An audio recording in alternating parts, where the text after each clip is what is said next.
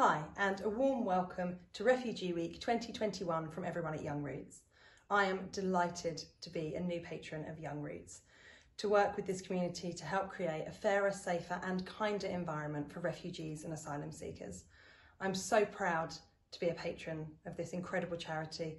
I think the work that they do is just brilliant, whether it's help with mental health, help with seeking asylum, with legal rights, with education, with language, or with finding someone a home. I'm coming to you today from my bedroom, a place where every night I get to go to bed feeling safe and warm.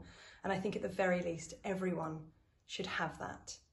And so I'm asking you today to join us in trying to create a an environment for young refugees and asylum seekers to help find their place in our communities, a safe place where they can really strive to be who they want to be. So if you can donate, please do. I think everyone deserves the right to feel safe and no one should have to walk alone. Thank you.